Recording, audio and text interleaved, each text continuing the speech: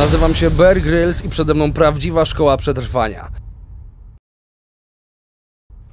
Będąc na Florydzie nie ruszałem się bez surowicy na wypadek ukąszenia przez węża, w Czarnobylu bez licznika Geigera, a w Polsce nie ruszam się bez czujnika smogu i bez maski.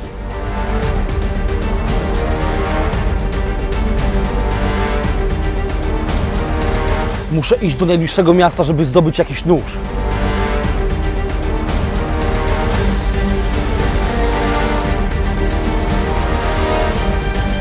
Palony plastik.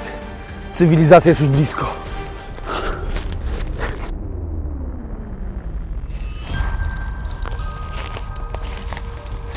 Widzimy właśnie przedstawiciela bardzo prymitywnego gatunku Homo idiotów.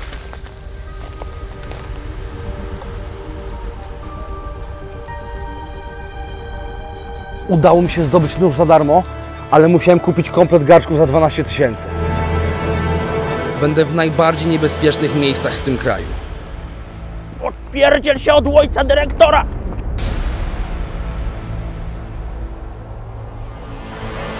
Widzimy grupę drapieżników, która udała się do lokalnego wodopoju. Polska to kraj wielkich kontrastów i przekonam się o tym na własnej skórze.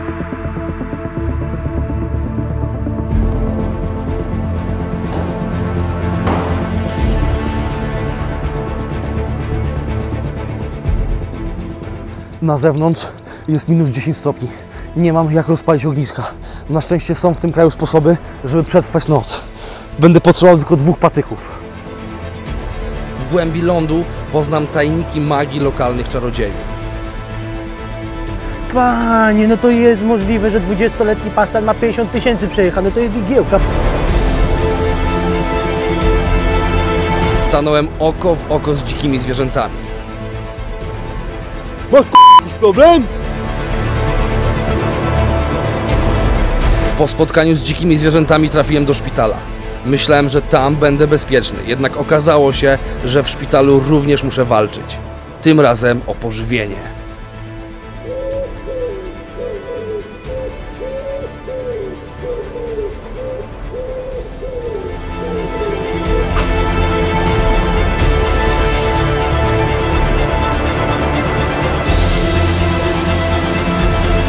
Jak widzicie, w tym kraju kolejnym niebezpieczeństwem są wyjątkowo piękne kobiety, których jest tutaj pełno.